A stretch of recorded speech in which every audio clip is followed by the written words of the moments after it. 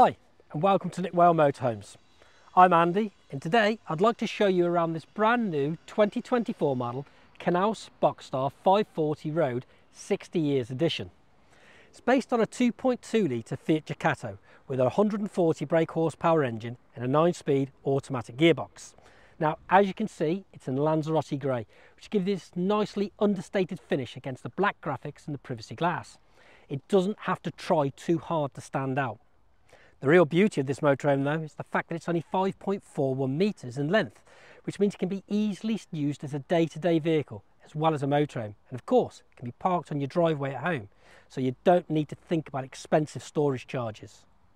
In the cab, we have Remis cab lines, driver and passenger airbags, a telephone and tablet holder, cruise control, electric heated mirrors, front electric windows, a Pioneer NavGate DAB Bluetooth media center and two large cup holders.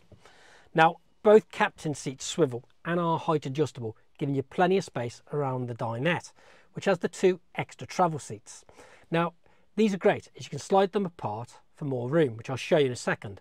It also means you can travel with four people, which is excellent for a van conversion if you're thinking of day trips or using it as a day-to-day -day vehicle.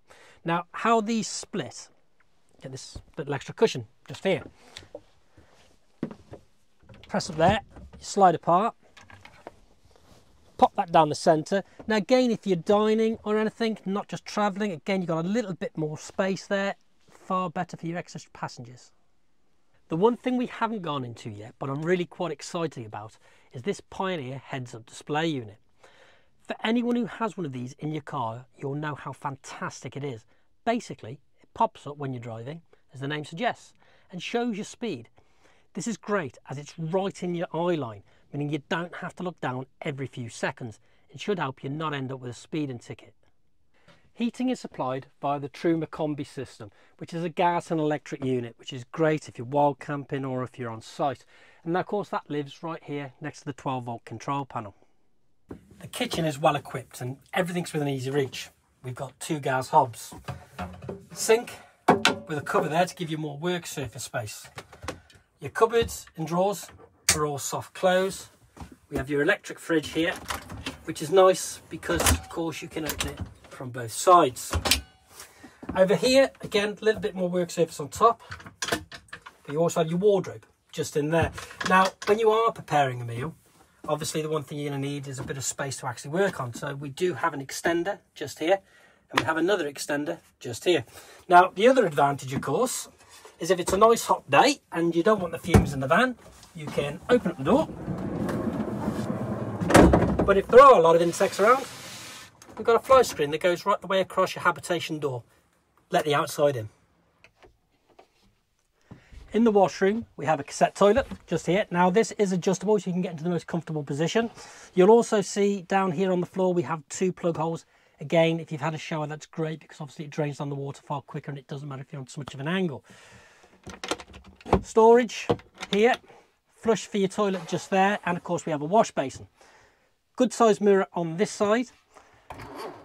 This is your shower that comes out from your wash basin and just clips onto the wall just here. We'll also have a good mirror here, which again, if we pop that across, you can see we've got more storage. Now, the other advantage is you do have a window just here that does have a blind, so you can have a bit of privacy. But again, if you're getting rid of the condensation after you've had a shower, it's perfect. The transverse bed is a good size for two adults. Now, while we're in here, you'll see we've also got a skylight just above here. The reading lights, again, these are clever because you've got USBs just in the top of each one. And of course, you've got all your light switches here.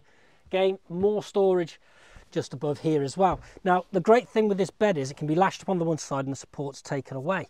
Now, what that in essence gives you, once you've taken the slats out the front, is a van, because this is all open at the back. But then saying that, you've got more than ample storage space underneath as it stands. One of the biggest decisions when purchasing a motorhome is the size that you need. This particular vehicle is ideal for two people who like to explore because the footprint isn't much different to that of an estate car and you can pretty much take it anywhere and get to those places that larger motorhomes may struggle to reach. Also, because it's not too big, you can take it off site and be used to explore, so you don't have to think about taking a towing car or bikes. add this to the fact that this vehicle can easily be used as a day-to-day -day vehicle, which is the benefit of those extra two travel seats. The great thing about this Knaus van conversion though is simple. First is the build quality, which is exceptional. Second, it can be driven on a standard driver's license, so you don't need C1. And third, it can easily be stored at home, making sure that you get the most out of it so you can use it pretty much every day. If you would like any further information on this or any other motorhome that we supply here at Nick Whale, please don't hesitate to give us a call. Or why not come and view it for yourselves? It really is worth a view. And we look forward to meeting you soon.